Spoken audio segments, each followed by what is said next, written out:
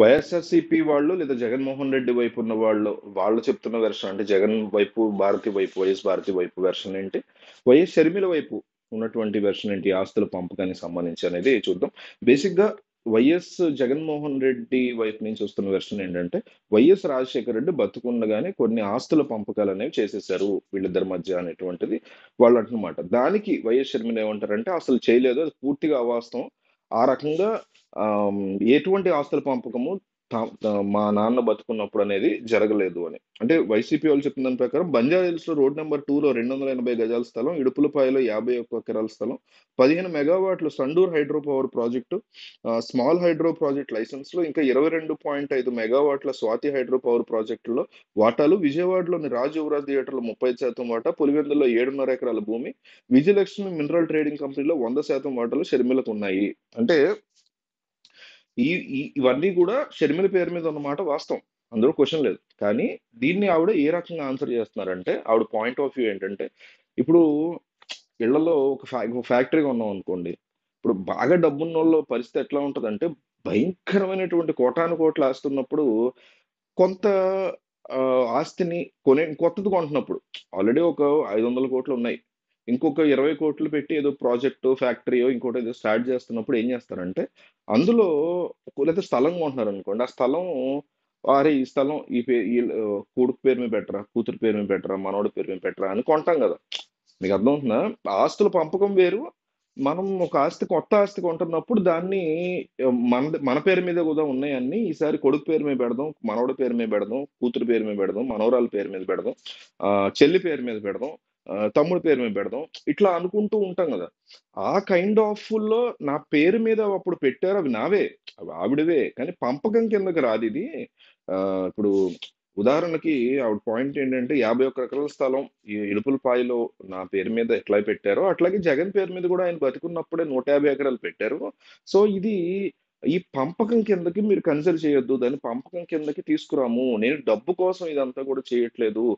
నన్ను బీట్రే చేశారు. పది సంవత్సరాల పాటు జగన్మోహన్ రెడ్డితో ఉన్నప్పుడు నన్ను బాగానే చూసుకుని నేను పార్టీ కోసం నిలబడినప్పుడు ఆ పార్టీ ఎదుగుదలకి ఆయన సీఎం అవడానికి బెనిఫిషియరీగా నేను ఉండి ఇన్ని కష్టాలు పడినప్పుడు నన్ను బీట్రే చేశారు. ఆయన సీఎం అయిన తర్వాత నాకు వెన్నుపోటు పొడిచారు అనేది ఆవిడ యొక్క point of view YCP Jagan point of view ఏంటంటే వీళ్ళు చెప్పేది ఏంటంటే నిజానికి వైఎస్ భారతి చేయాలనుకున్నారు పార్టీని నిలబెట్టాలని పాదయాత్రని అది ఇది అని కానీ తన యొక్క ఆమ్, ఏమంటారు? తన యొక్క ఆ ఎగ్జిస్టెన్స్ ఎక్కడైతే దెబ్బతింటదో అనే భయంతో వైఎస్ భారతి పాదయాత్ర మొదలెడితే జగన్ జైల్లో ఉన్నప్పుడు తన ఎగ్జిస్టెన్స్ దెబ్బతింటదేమో అనేటువంటి భయంతో తన ఫ్యూచర్ ఉండదేమో రాజకీయంగా కానీ ఇంకో రకంగా కానీ నేను వెనకబడిపోతాను అనేటువంటి భయంతో ఈమె పనిగట్టుకుని మరి పాదయాత్ర చేశారు అనేటువంటి ఆరోపణ వీళ్ళ వైపు నుంచి. అంటే ఎవరి పాయింట్ ఆఫ్ వ్యూ వాళ్ళది చెప్తున్నా.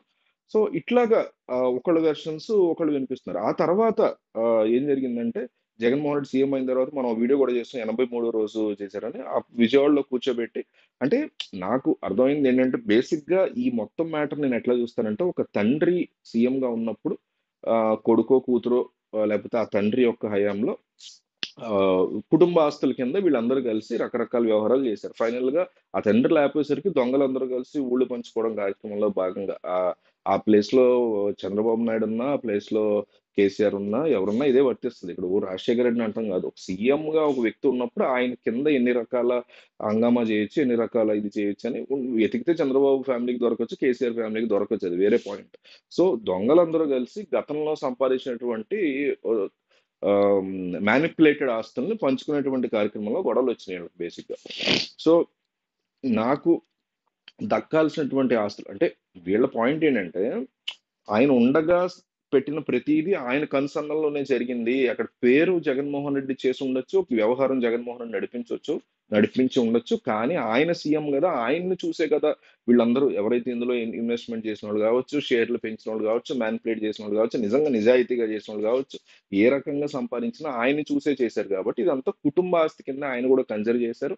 వీటిల్లో ప్రతి వాటా కూడా నలుగురు చిన్న బిడ్డలకి అంటే వైఎస్ జగన్మోహన్ రెడ్డి ఇద్దరు కూతుర్లకి షర్మిలకు ఉన్నటువంటి కొడుకు కూతురికి సమానంగా ఇవ్వాలి అని రాజశేఖర రెడ్డి అప్పటి నుంచి కూడా కోరుకుంటూ ఉన్నారు. ఆ విషయం ఆ భారతి జగన్మోహన్ రెడ్డి విజయమ్మ చివరికి విజయసాయి రెడ్డి లాంటి వాళ్ళకి వైవి సుబ్బారెడ్డి లాంటి వాళ్ళకి కూడా కూడా తెలుసు. కానీ ఇప్పుడు ఈ రోజు జగన్మోహన్ రెడ్డి కోసం ఆయన మాయలో పడి వీళ్ళందరూ కూడా నన్ను బీట్రే చేస్తున్నారు అనేటువంటి వెర్షన్ తప్ప నాకు ఆస్తుల మీద మోజు కాదు.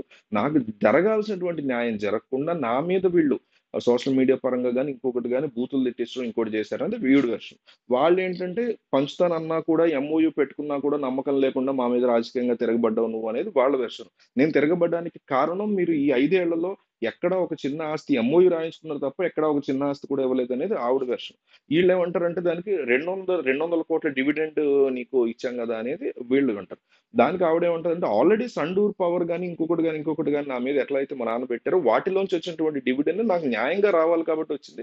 ప్రేమాభిమానాలతో ఇచ్చింది కాదు పైగా ఆ రెండు వందల కోట్లని కూడా నన్ను మ్యాన్పులేట్ చేసి నన్ను మాయ చేసి మీరు అప్పు కింద అప్పు ఇచ్చినట్టుగా చూపించారు. అదే నేను కూడా అఫిడవిట్లో ఇవ్వాల్సి వచ్చింది. ఇవిడ ఎంపీగా పోటీ చేసిన అఫిడవిట్లో రెండు వందల కోట్లు వాళ్ళ అన్నయ్య వదిన అప్పు కింద చూపించారు ఇవిడ బేసిక్గా అది డివిడెండ్ నాకు రావాల్సినటువంటి డివిడెండ్ రెండు వందల కోట్లు అందువల్లే వచ్చింది అనేసి ఈవిడ వెర్షన్ ఇట్లా ఒకళ్ళ మీద ఒకళ్ళు ఇందాక చెప్పినట్టు ఇది బేసిక్గా దొంగలందరూ కలిసి ఆల్రెడీ దొంగ మ్యానిపులేటెడ్ ఆస్తులు ఏవైతున్నాయో వాటిని పంచుకునే కార్యక్రమంలో గొడవలు తప్ప నిజంగా నిజాయితీగా సంపాదించారు అని నాకు నాకు ఏ వెర్షన్ కనిపించలేదు. అట్లాగే రాజశేఖర రెడ్డి కుటుంబం గురించి కాదు. ఒక సీఎం గా ఒక వ్యక్తి ఉన్నప్పుడు చంద్రబాబు ఉన్నా లేకపోతే అవి తర్వాత రేపొద్దున బయటపడచ్చు. ఫ్యూచర్లో వాళ్ళ కుటుంబంలో ఏం జరిగిందని కేసీఆర్ కేసీఆర్దని రేపొద్దున బయటపడచ్చు. ఇంకా ఎవరు తిరగబడలేదు ఈ ఫ్యామిలీస్లో కాబట్టి ఆ కథ అట్లా నడుస్తుంది. గతంలో కూడా మీకు రెండు వేల పంతొమ్మిది వరకు కూడా వ్యవహారం అంతా బాగానే ఉంది కదా. అప్పటి వరకు కూడా ఇవన్నీ మనం మాట్లాడుకోలేదు కదా. ఎప్పుడైతే షర్మిల తిరగబడ్డారో అది జరి నిజాలు బయటకు వచ్చే తప్ప స్టాలిన్ ఫ్యామిలీలో ఏం జరుగుతుందో ఎవడో తిరగబడలేదు అనుకోండి ఆ, అనేది సంబంధించినటువంటి ఫ్యామిలీలు అవి అప్పటికి ఇంకా బయటపడవు. ఇప్పుడు జయలలిత విషయంలో శశి శశికళ తిరగబడింది కాబట్టి అవన్నీ బయటకు వచ్చింది తప్ప లేదంటే బయటపడవు. సో ప్రజల ఆ, ప్రజలకి నాయకులము నాయకుల ఫ్యామిలీలము అని చూపించుకునేటువంటి ముసుగు మాటను అన్ని ఫ్యామిలీలు కూడా చేసేటువంటి వ్యవహారమే ఇది. దాంట్లో జనరలైజ్ చేయట్ల తప్పు విచ్ ఇస్ కంప్లీట్లీ రాంగ్ మనల్ని మోసం చేస్తున్నారు ఈ రకంగా నెత్తి మీద సీఎం అనే కిరీటాన్ని పెట్టుకుని.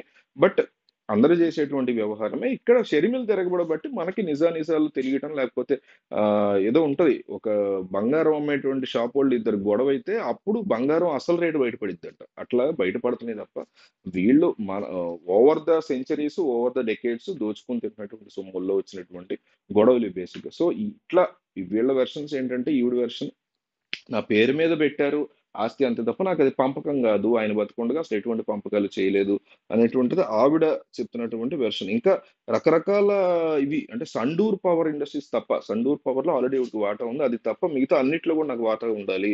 Bharathi cements Saraswathi power industries సాక్షికి సంబంధించి జగతి పబ్లికేషన్స్ ఇవన్నిటి కూడా క్లాసిక్ రియాలిటీ యలహంక ప్రాపర్టీస్ క్యారమిల్ ఇవన్నీ వీటన్నిటిలో కూడా నాకు రావాల్సినటువంటి వాటాలు. ఇవన్నీ కుటుంబ ఆస్తులు.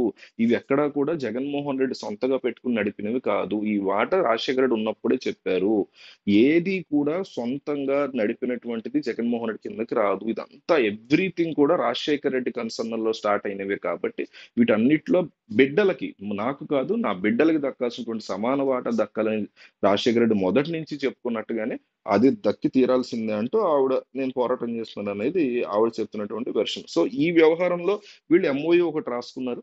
సో ఈ ఎంఓయు ఏదైతే వాళ్ళు రాసుకున్నారో అది ఎప్పటికీ ఇంకా ఆస్తి ఇవ్వట్లేదు అనేటువంటి విషయంతో ఆవిడ మరి ఆ రీజన్ వల్లే ఆబ్వియస్లీ ఇప్పుడు అర్థమవుతుంది రాజకీయాలకు ఎందుకు వచ్చారు అనేది.